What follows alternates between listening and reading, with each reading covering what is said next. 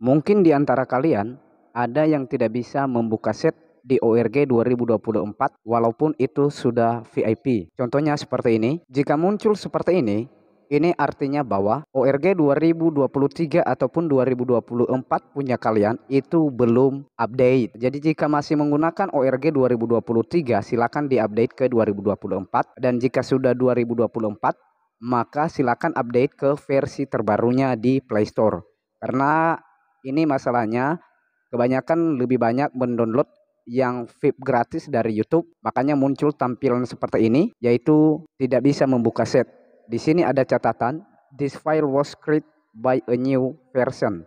Jadi ini hanya bisa dibuka di versi terbaru. Jadi jalan keluar satu-satunya adalah mengupdate ORG 2024 kalian. Ataupun kalian mengalami masalah seperti ini. Sorry, this file is located and is only usable by select user. Jadi ini artinya ini tidak bisa digunakan ataupun dibuka setnya di perangkat kalian karena pihak pembuat set sudah menggunakan penguncian dan itu untuk menjaga privasi pembuat set. Di sini langsung sudah tercatat siapa yang menguncinya ya. Jadi bisa dihubungi untuk setnya ini. Jadi makanya kita harus membeli set itu sama yang pembuat aslinya. Seperti itu. Jadi gimana ngatasinnya masalah ini?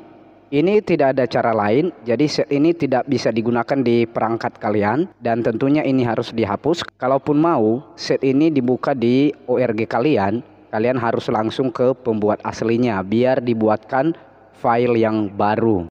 Nah, untuk video kali ini demikian dulu dan sampai jumpa di video berikutnya. Tapi ingat jangan lupa subscribe, like, dan juga komen. Terima kasih.